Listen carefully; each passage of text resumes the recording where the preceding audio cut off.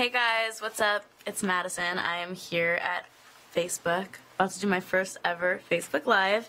Um, I'm excited, and some of you guys submitted questions beforehand, so I'm going to read these first, and then I'm going to um, talk to you guys live. So if you have any questions that you haven't asked yet, um, get them ready because I'm going to be answering them after this. So my first question I have is, how would you describe your style? Mm, that's really hard. I would probably say that my style is like a little bit more on the lazy end. Like I don't really wear like things like this so often. I'm usually in a hoodie and sweatpants, and uh, that's about it. That's about as good as it gets. But when I'm doing things like this, I try to look a little bit better. Maybe like a crop top, some you know, some jeans. That's kind of my vibe. I always wear something big to cover myself. I don't I don't know what that is. Maybe it's an underlying insecurity. I don't I don't really know, but it's it's always I always have something big, whether it's a big hoodie or a big jacket or something. So I don't really know. Lazy, I guess is how I would describe my style.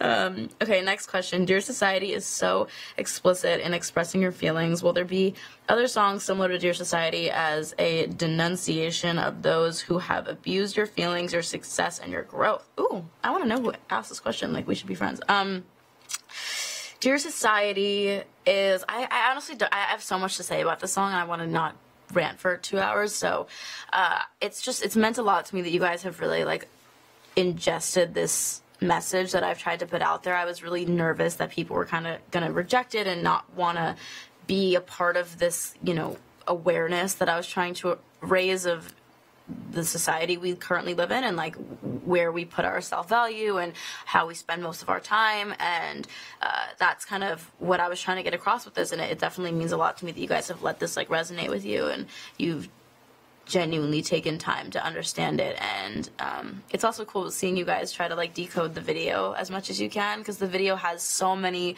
metaphorical like underlying meanings behind it. And a lot of those being what's kind of happened to me in the industry. I was signed and dropped by the time I was like 16 years old, and the ending where I'm in the dark by myself is kind of like the reality and the sad truth of like me feeling like I was left in the dark slightly, and like I was, you know, I don't want to say abandoned, but like I guess abandoned. And yeah, I don't know. I, I, I definitely wanted that to play into this bigger picture of where we are now as a society and Instagram and Facebook and all this stuff and how you know we're always kind of streaming and watching and doing this and uh, want everyone to be able to not only do things like this. This sounds very hypocritical as I'm sitting on Facebook Live, but that's really what the message is and there's definitely going to be more songs like that everything on my new album is really true and real and um, expressive of my honest emotions. I feel like I have never really been vulnerable with you guys music wise. I feel like a lot of my music has been kind of that, like I'm a badass, I'm cool kind of thing. And I definitely want to be a little bit more open and honest. And uh, that's why I'm excited for this next chapter because that's definitely what it is. So, yeah. And thank you for understanding that. Um, which fictional character would be the most exciting to meet in real life? By the way, I'm only reading these questions for the first time, so if I'm like god awful, please forgive me. Um, which fictional character would be the most exciting to meet in real life? Uh, Rick or Morty, I guess. Uh, Rick, I'm gonna say. Morty would probably get annoying, but Rick for sure. Uh, when do you feel the most empowered? What do you think is the key to feeling so? I feel the most empowered when I'm on stage and I'm performing and you guys are like screaming and cheering.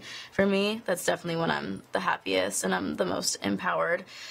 So, yeah, and I think uh, the key to feeling empowered is confidence. It all comes from within yourself. You don't need to be on stage and have, you know, people screaming to give you validation. You just have to kind of like, you know, me stepping on the stage is when I feel empowered. It's not even like the crowd. I don't know how to. I sound stupid. I'm sorry, but like, yeah, you just have to be confident in yourself. Um, what is the first thing you do after working? Uh, I always take a bath. I'm like clinically addicted to baths. It's kind of an issue, and I think I should see someone about it. But I'm like, I take five baths a day. Not so good for the environment, but like good for my soul. So, what was the most challenging part of making your debut album, and how did you overcome it? It was hard just to like be so honest with myself and put myself back in a dark place. I mean, most of my album was as it was being created, I was going through a lot of shit and a lot of personal stuff. So uh, it wasn't hard because I was in it, but it's hard because you know as you're going through things, you're you're at the same time trying to heal and trying to overcome and um, not be stuck in such a horrible place. But it was like I had to be because I wanted to be for my album and you know uh, feel my feelings. Um, so that was definitely difficult having to not allow myself to progress. I was like, no, you have to stay in this fucked up place in order to make this real. And uh, I have an amazing team, and my writers and producer and whatnot are just like my best friends at this point. And I don't know like if this album would have been possible without them because I they just let me be myself, man. You know, they were like really wanting me to be vulnerable and honest, and they would like sit and let me talk for hours and rant about my issues as I sobbed, and they would be, you know, listening and typing at the same time and kind of writing down lines and pieces that I would say, and that that ended up being my album. So like everything you guys hear are kind of like just lines that I spewed out while I was kind of crying and ranting. I mean, there are songs that are sexy and simple and happy, and those are the songs that I made in the honestly like some of my saddest times because I was like, you know what, like fuck this, I don't want to be crying anymore. I want to feel empowered. I want to feel sexy. I want to feel cute and like have something to be able to play when I'm depressed. So um, I hope I hope you guys listen to it, and I hope you get a sense of vulnerability and healing and i also hope that you feel cute when you're getting ready or wherever or, or just in your life and you can like dance and sing and cry and just you know feel the roller coaster that i went through for so many months. Um, but how did i overcome it? Just by by channeling it. I always think in life when you're going through things channeling it into stuff that means a lot to you is the best way to get rid of it you know?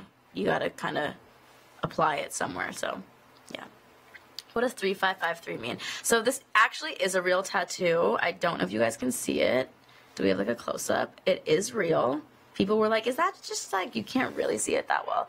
You can't see it literally because it's on my finger and it's gone away. Like, I didn't realize that finger tattoos went away that quickly, but apparently they do because mine is gone. I'm gonna get it retouched up, so, um, it's there. But it's my birthday and my brother's birthday. Three five is my birthday. Five three is my brother's, and um, three five five three has kind of always been like my number, and I wanted it to. It's weird because it adds up to sixteen, and the song came out on the 17th, so technically it came out the 16th at midnight. Well, that's technically the 17th, but you know what I mean? It's kind of weird that it was like in the same range of numbers, but numbers have always been weird to me. Like whenever I gamble in London, I because I'm only legal to gamble in the UK or in Europe, and I always put it on like three, five, or five, and I always win. So those are just my numbers, and I wanted to incorporate it. And um, I'm patient number three five five three now forever, and this is going to be retouched. And by the way, shout out, but also like I hate you guys who saw my like I have a tattoo on for you guys in the room who don't know this. I have a tattoo on the back of my neck that says my album name, and I told them that on a live stream. I was like, guys, you guys will never know my album name until I want to tell you. And I got paparazzi the other day, and they saw it, and everyone was posting it, and they were like, we know it now, and. I shouldn't have brought more attention to that because now everyone's just gonna go look for it. But don't wait, please. Gosh, I'm gonna change it. No, I'm just kidding. I won't. It's literally Omni for life. So all right, next question. What did you learn about yourself during the writing slash recording process of Dear Society and your album? Uh, I mean, so much. I don't. It's so hard to like. I, I I I need like three hours to really talk about this stuff. But I I feel like I've changed so much as a person since I started making my album, which is weird because like you don't really change that much as a person over the course of a year, but I really did genuinely like allowing myself to go to these places that I was always shutting off and like, you know, memories of mine that I was kind of trying to block out, bringing them back to life was definitely something that I feel like molded me a little more and like changed me a lot. And um, Dear Society in particular was one that I really had to like think deeply about how I felt at a really young age being in the spotlight or whatever you want to call it. Um, yeah so like that line like been 21 since 17 like i really have felt that way my whole life. I've and that's that's honestly like not like that's not even true. I've i felt like i was like 30 since i was 12 like i've always been kind of not a kid and uh it's it's a double-edged sword for sure. Like i have i have moments of sadness and wishing that i had stayed in New York and been a kid for longer. And uh, then I have moments where I'm like, you know, I wouldn't trade my life and my path for the world because I'm where I am now today because of it. And I have you guys in my life because of that. So um, I wouldn't trade it. It's just more like it's hard to face that sometimes, and that was the most difficult part. Um, but the main thing I learned, I guess, was just like that I'm, you know, I, I kind of learned that I'm like I'm, I'm I'm a great person. Like I, I allowed myself to actually like under like I don't know how to say this without sounding ridiculous, but like I've, I've my whole life I kind of never wanted to be like, oh yeah, I'm I'm, I'm a great girl. Like I'm, you know, I I can cha- like I, I have these skills. Like, I could channel my emotion and apply it to music. And I I feel like my writers and producers and people around me were encouraging me to come there and be like, you know what, no, like say that to yourself. Tell yourself you're great. Tell yourself you're awesome. Tell yourself that you do have this amazing skill that not a lot of people have. And um, that was just a great that, that added to my confidence and that was like a very empowering feeling was to feel like i was great and be able to say that to myself and believe it for the first time. So yeah. What song on the album owns your heart or means the most to you? Damn. Um, i want to say dear society honestly. Dear society is like definitely my baby but the one that owns my heart. I mean, there's just one, but it doesn't own my heart because it's not like a vulnerable song. It's kind of like my sexy, fun song that's coming very soon. It's my next like real, real single. Um, but that one doesn't own my heart because it's not like it doesn't like pull my heartstrings. I would say the one that gets me is uh, probably the ending of my album it's really emotional and like makes me cry every time. Because it's kind of this i'm not to tell you sorry not telling you but it's the last song on my album and you will hear it and it's really sweet. Because it's kind of me making my album. That's all i'm saying.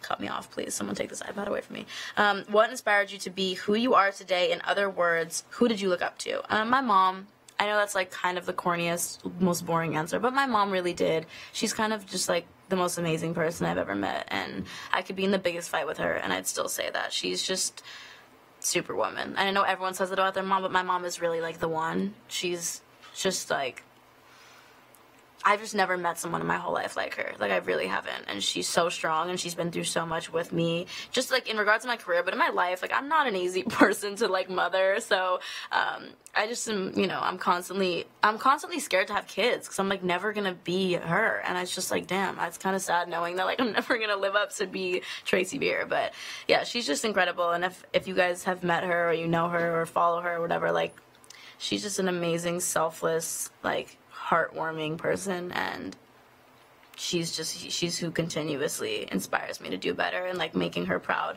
is my greatest dream. And my dad my dad's amazing too but my mom you know it's a mom thing. Um, okay can we expect more tracks with the same vibes your society on your album? Yep absolutely. Um, everything's the same vibe but different. You know if you listen to my album it's kind of all the same but different. And I, actually that's not true. Everything sounds so different but like everything has a similar vibe we do live ones? Kate, let's do it. Yes. Hi. Wow. Okay, now I could see myself and it's kind of scaring me. Um, wait. I don't even know how to do this. Okay, I'm so guys, I'm the worst. I'm literally like a 95-year-old woman. I'm not really tech savvy. How did you create your society? Um how did we really? I mean, okay, so Dear Society really came about because we had this other song, and I was like, no, I want something like this, and I played some references, and they were like, okay, so I left the studio that night, and they made a song which was Dear Society without me, and I came in and I was like. I like it, but like not really. And the chorus was "You're bad for my health, you're bad for my health. It was just you're bad for my health, like repeating over and over again. It was just that. Um, and I just was like, yo, we have to kind of like rap or talk more. It has to be more like verbiage. So I was like, you're bad for my health. I should probably get some help. I can't control myself. I'm addicted to the hell. And they were like, that's tight. And I was like, okay, cool. So let's go with that. And then um, I didn't sing the lyrics like that. That'd be kind of wild if I just like spitball lyrics like that. But I did go da da da da da da da da da da um, and they loved it. So that's how it came about. And uh, the first chord, the first verse lyrics were actually whiskey pills and cigarettes, my daily dose of internet. And I was like, it sounds like we're saying whiskey pills, like a pill of whiskey. And I was like, hey, I don't. I wanted everything to be really true to me too. I wanted the song to be very honestly my life. And I was like, I don't drink whiskey. And especially not whiskey pills. What even is that? I was like, I don't, I don't like this line, and we couldn't think of something else. And I was like, why don't we just say sleepless nights? Like I don't sleep. I'm such an insomniac. So that's how that came about. But it was originally whiskey, pills, and cigarettes, my daily dose of internet. Um, I'm trying to think of other lyrics we changed last minute. I don't think we did. We did. Oh, the first verse was originally Dear Society, you pushed me to the edge, so here's some clarity. And it just never felt right to me. Like, okay, so what I just sang, the whiskey pills was the bridge, and then everything was just in a different order, in a different place. And I remember I was like, guys, we, this doesn't work. I was like, it sounds weird. And I, I, I had them mute the track, and I sang sleepless nights and cigarettes as the beginning and they kind of all went like this and they were like ah and then when the bridge came around and i sang dear society it sounded so sad in a beautiful way and then um, i had to fight everyone about the yeah part by the way so that was all me everyone was like no we don't like it we don't really like that part it's like yeah and i was like no no no no no we're keeping that in so um, is my dad commenting on this? What about your dad? Dad, I love you. I'm sorry. He's like, um, excuse me. Sorry, I'm trying to read these questions. If I can't find one, I'm just gonna like, where do you get your inspiration for concepts you use in visuals and videos? I have been on Tumblr since I was probably 10 years old and I just like reblog GIFs nonstop. I don't know if I should be talking on Tumblr at Facebook headquarters, but like, I'm sorry, it's just true. And I literally have been like reblogging GIFs. Is that how you say GIFs? GIFs? I don't know. And since I was literally like 10 years old, and I basically for my last tour just pulled my favorite ones and used them as visuals. And like, I don't know, when I make a song, I'm always seeing the visuals. So yeah. Okay, do I go down or up? Like, is this the new ones or is this the new ones? Down. Down. Okay, I'm so not tech savvy. Okay. The yeah part is the best part. Thank you. Thank you, thank you, thank you. Um, what was your reaction when you hear your whole album? Honestly, man, like I can't even tell you guys. I could listen to it over and over and over again. It's an hour and a bit long, so it kind of takes up a lot of my time, but like I just love it so much. So if you could describe your album's vibe in three words, what would they be? I hate these questions because it's just not possible. Like I can't do that. But I would, ah, if I had to, I would say like, no, I can't do it. I okay, these are done. I will give someone this. Thank you very much. Got a little Facebook thumbs up. Okay, I'm gonna read your live questions, so please. Belgium misses you. I miss Belgium. How how long do you guys want me on this? How many? Okay, cool. Is Blue gonna be a single? Never know. Is there a date fixed for the album or not yet? There's a tentative date, but it's not like set in stone. But I think, maybe. Um, any tour soon? Yes. Yes, yes, yes, there is a tour coming, and I'm really excited.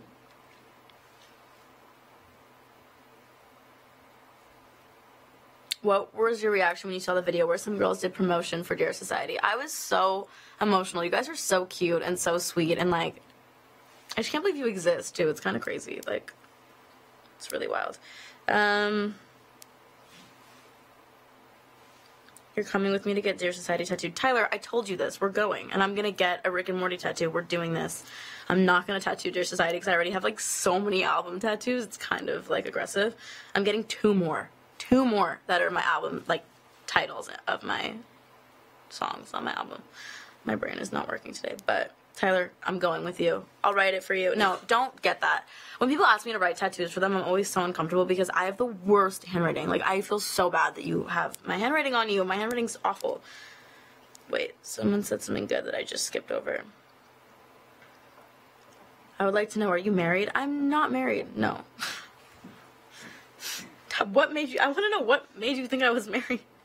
Um, these are so funny. Madison Beer Tech is tough. Are you saying like I'm bad at tech? Or are you saying that I'm good at tech? I don't know what that means, but thank you or or not thank you. I thought you would say the name of the song. No, I'm not gonna tell you guys the names of my songs.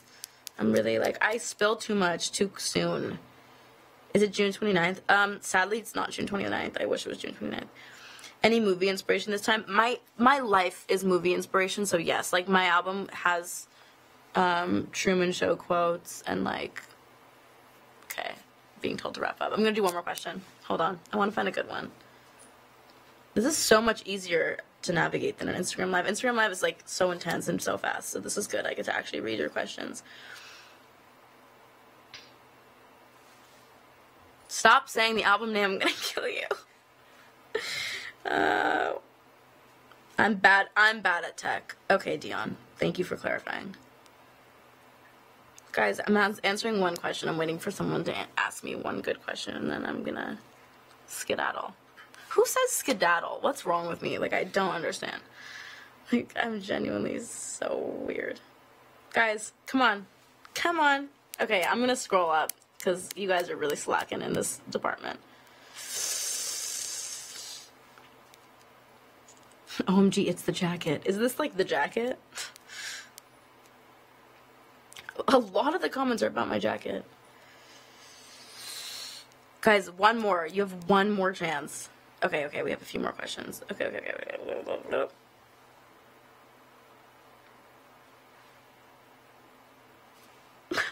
okay. are we getting more singles before the album release? Yes, you are. And that's going to be my final question because you guys are really slacking. But I love you. Um, Tyler, you need to relax because you are going to spill and I know I have not filmed that video yet. Um, but I'm going to, and I will FaceTime you when I do. Me and my me and my best friends slash like my biggest fan pages have a group chat, and we FaceTime like nightly. It's actually been like three nights. I'm so sorry, but I spill so much tea on them. And if you don't stop, I'm literally not telling you anything ever again. Um, okay, I'm gonna go, but I love you guys. This was really fun. Um, I want to do this again. I'm like looking at where to end it. Whenever I do Instagram lives, I'm like so excited to end it because I'm so scared. But I love you. Thank you for tuning in. Thank you for watching. This was a fun little like intimate one, and um, yeah, can't wait for you guys to hear the new stuff. Thank you for supporting Dear Society. It's been doing better than any of my other singles, so thank you. It means the world to me. And uh, yeah, very excited for this new chapter. And I will see you guys very soon. Bye.